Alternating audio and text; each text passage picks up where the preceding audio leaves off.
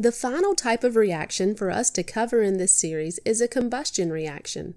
In this video, we're going to look at what a combustion reaction is, what the general formula looks like, what is a hydrocarbon, and some tips for balancing combustion reactions.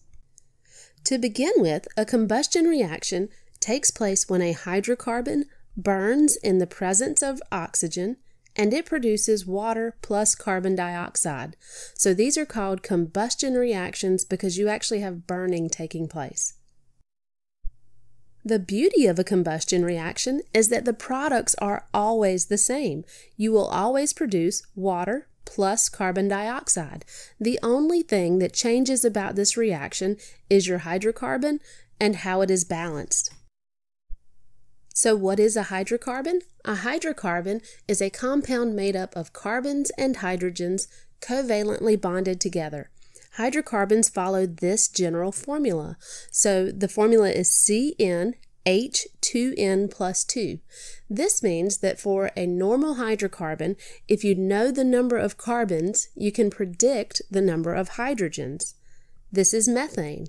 Methane has one carbon. So in the formula, you would plug a 1 in for N.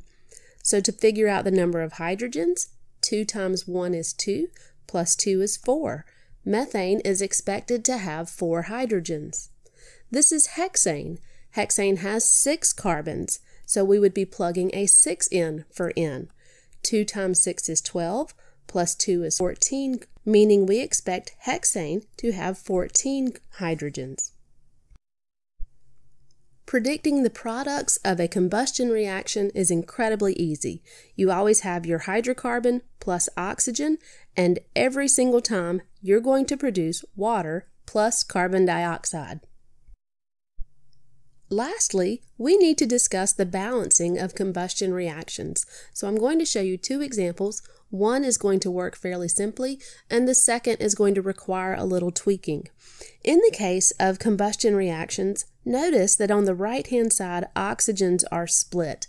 And anytime an element is split on one side, I always recommend balancing that element last. So for a combustion reaction, I recommend balancing the carbons first then the hydrogens, and the oxygens last. In this first example, there's one carbon on the left and one on the right. That's balanced. There are four hydrogens on the left and only two on the right, so we'll need to put a 2 right here. And then in terms of the oxygens, there are two on the left. On the right hand side, there are two here plus two here for a total of four. So I'm going to need to put a 2 right here to complete the balancing of the reaction. That one was fairly straightforward. For our next reaction, I'm going to recommend that you write in pencil because we're going to be doing some tweaking along the way. To begin with, there are six carbons on the left, so I need to put a 6 here to balance those.